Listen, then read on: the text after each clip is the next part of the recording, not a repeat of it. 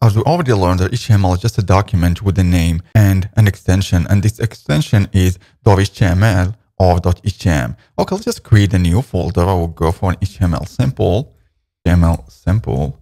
Then I'll create a new file. To create a new file, I will just drag the folder into the IDE. I'll use Visual Studio Code to create new files.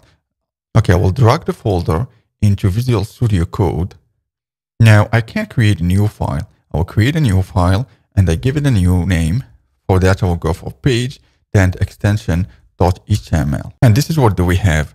We have a page.html page that you can edit its code by using Visual Studio Code and you can preview this result by using the browser. Okay, let's just drag this page into the browser.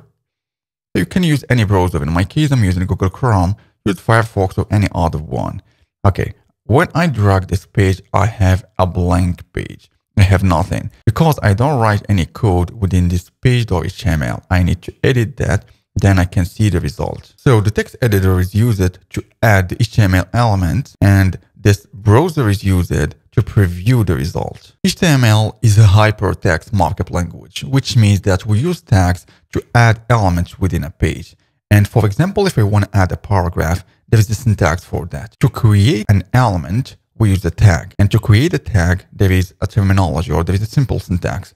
So the first tag is we use the left angle bracket, then the name of the element, then the right angle bracket. Okay, left angle bracket, the name of the element you want to add, then the right angle bracket. So in general, the text needs to be closed in order to define the end of the element or the end of the tag. And to close the tag, we use the same syntax. So the left angle brackets, the right angle brackets, the name of the element, but we need to add this forward slash. I'm not defining anything here. If I'm just save the file and refresh the page, I have nothing because this is considered as an HTML tag. I need to add a paragraph. Okay, let's just add a paragraph and save that. By using this syntax right here, I'm creating a paragraph and this is the start of the paragraph and this is the end.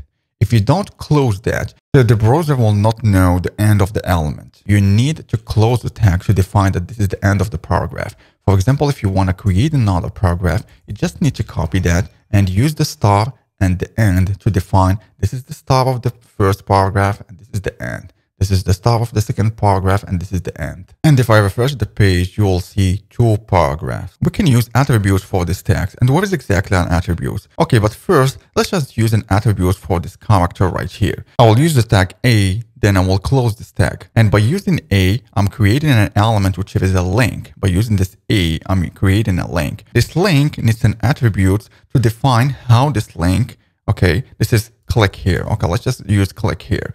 Once I'm clicking here, I want to go to another page.